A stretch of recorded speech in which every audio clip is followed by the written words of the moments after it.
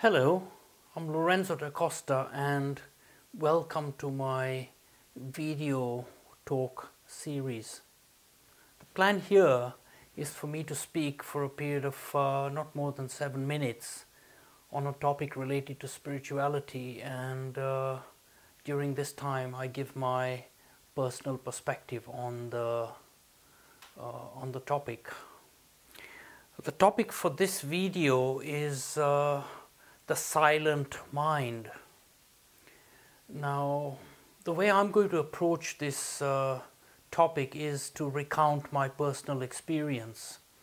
Now, for anybody that's been involved with the study of yoga, Buddhism, and various things, certainly I grew up uh, reading that kind of stuff in the 1970s. You know, the idea of uh, experiencing something called the silent mind or the still mind. Now, in my particular case, I became involved with something called the Gurdjieff work and uh, or the teaching of George Ivanovich Gurdjieff. And in that context, I uh, joined the groups based in London, and in the 19 uh, by the mid 1980s, I was studying under the guidance of my meditation teacher, a lady called Betty Gloster, in those days. And in an approach to the approach that I was taught was to try and sit down, take a take a bit of time every day where I just sat down uh, in one place and just saw what happened, uh, how my thoughts and emotions uh, came up and went, came and went, you know, the flow of thoughts, emotions, whatever. And one had to try and observe this, as it were, without quality judgments, without saying this is good or bad.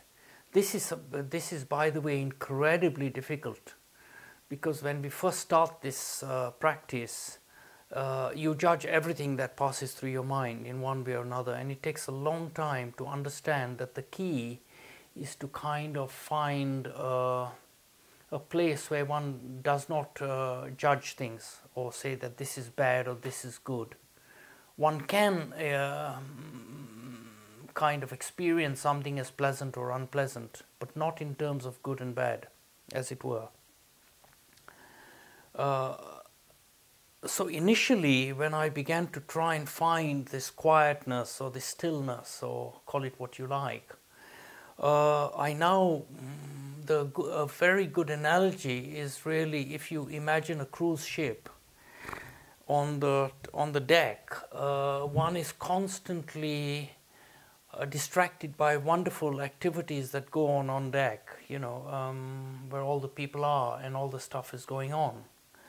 Now, meditation or the practice, uh, we used to call it preparation in those days, but uh, effectively meditation was really a process of, of coming out of that ordinary world into something else and uh, seeing what uh, went on. And it was, it, and in my case, it felt like going from the top deck to the engine room, where you observe the machinery of the mind, the machinery of the emotions. So instead of being in a quiet place, you discover that you are sitting in a very noisy space with uh, with machinery all around you making a terrific noise. And the art is to be able to sit in the engine room and just uh, experience it just as it is. Now, it is only thanks to my uh, meditation teachers at the time that I was told, don't worry what you see, just stay with it. Just sit there, just look, observe, and just, uh, just be there for it. And uh, it actually took me three years of daily uh, sitting quietly for a specific amount of time until I actually had a breakthrough.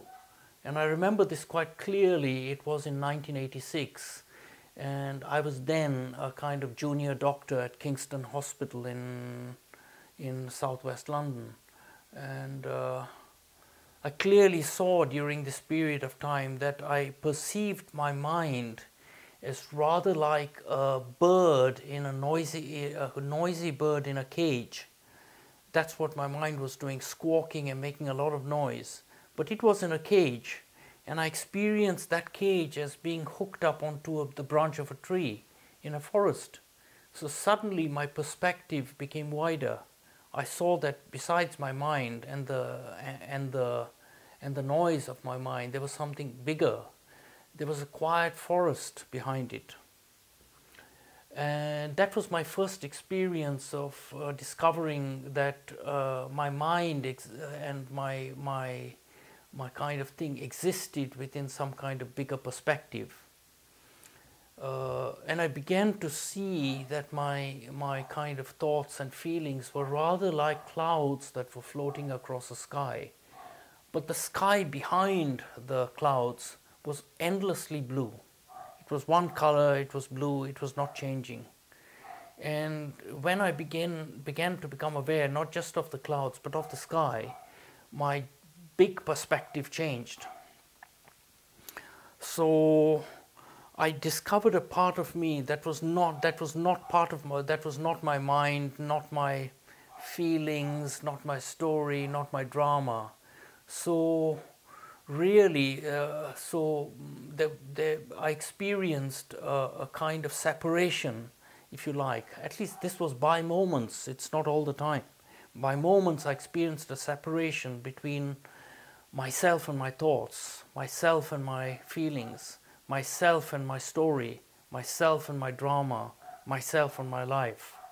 So I was not my thoughts, I was not my feelings, I was not my story, I was not my drama. And uh, this separation gave me a, a, completely new perspective and uh, opened me up to a whole bunch of new things. And ever since that time in the mid 80s, I have been exploring this wider perspective. And, uh, and uh, there's quite an important uh, topic here because how big is your hand? your hand is as big as you hold it close to your face.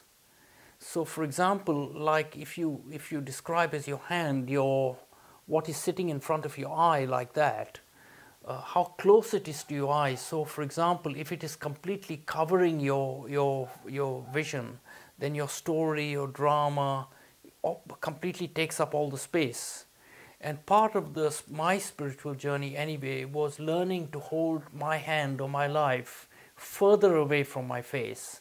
So my perspective changed. So, you know, my kind, my problems were not unique. Nothing about me was unique. It was part of what everybody else was experiencing uh, within a wider perspective. And it is that quality of understanding that wider perspective that uh, gave me a, a, a, a, kind of I'm not that important really, and my life is not that important or anything like this. And with this, it gives you a great measure of personal freedom. I think the idea that uh, one's problems are not unique and one's life is not that, that you know, it's just a life like anybody else's. Why should my life be better or more precious than anybody else's? It is not. Uh, so this gave me a, a, quality of perspective, and uh, I, uh, I hope that uh, um, I think I'm going to end uh, this video here, and I hope you found what you heard perhaps uh, interesting, informative, educational, etc. And uh, I would really recommend that if you're involved in the business of looking at stillness and the quiet mind, listen to the philosopher Eckhart Tolle, follow his talks. I mean, he is probably the best person in the world right now, the most popular, that talks on this subject with a huge following. Um, so I'll end this video now um, and uh, thanks for listening.